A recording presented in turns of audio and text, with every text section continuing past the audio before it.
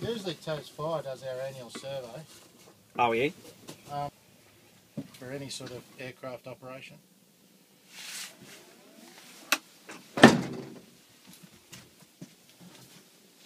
Yeah, that's a good.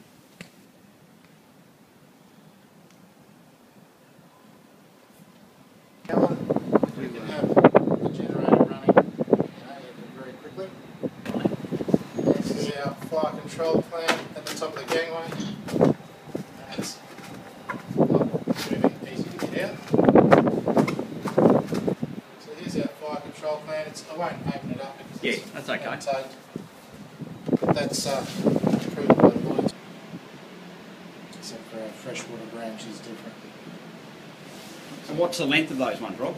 Um, usually about 18 metres. Yeah.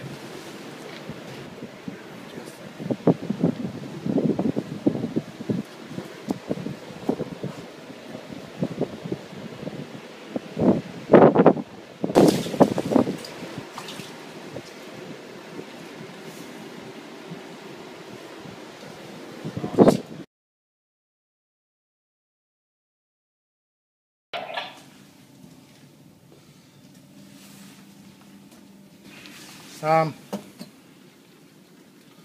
and we also have disablements. We disable zones as we need to disable them.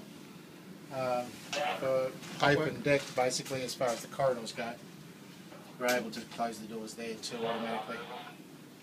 We can also stop cargo hold ventilation, engine room ventilation, accommodation ventilation can be stopped from here.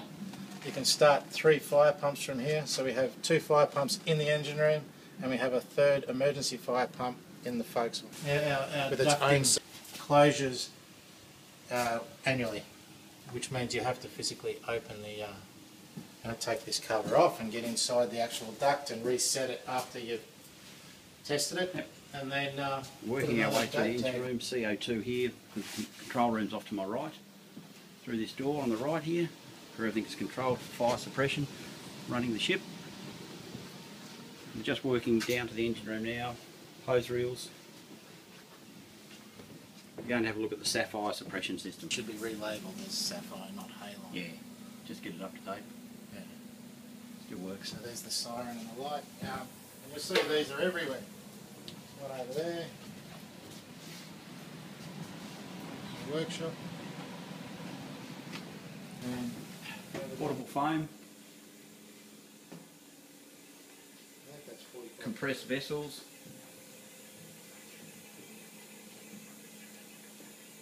Just a quick 360 of the engine room. caused by that. There's this is a turbocharger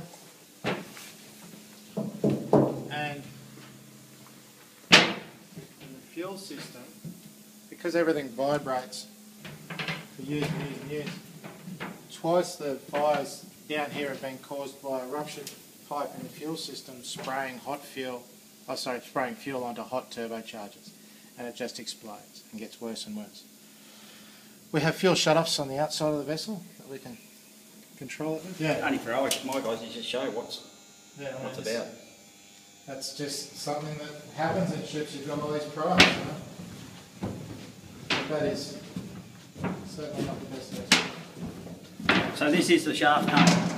Shaft tunnel, that's the lowest point in the vessel, unless you're inside a tank. Uh, it's got a fire hose the end here as well. Your emergency escape.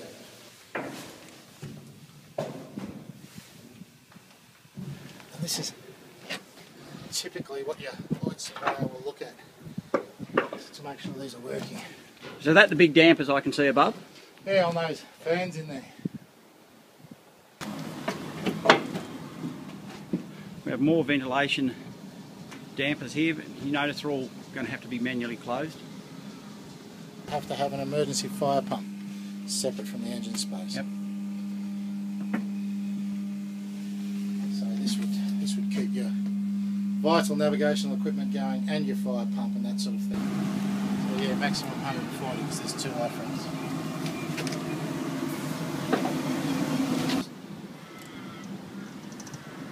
Should be working.